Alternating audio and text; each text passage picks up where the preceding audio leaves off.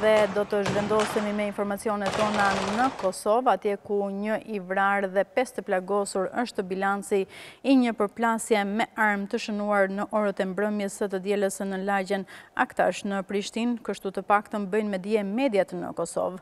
Sipas raportimeve, në përplasje janë përfshirë anëtarë të familjeve Sekiraqa dhe Cepa që thuhen se kanë qenë pasur edhe konflikte të mëparshme.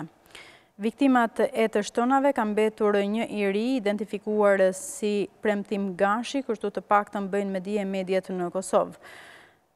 Ndërkaq, pesë persona po trajtohen në spital me plagë nga armët e zjarrit, dy nga të cilët në gjendje të rëndë. Policia dhe Prokuroria e Prishtinës thanë se po hetojnë shkaqet e përplasjes së armatosur mes dy grupeve.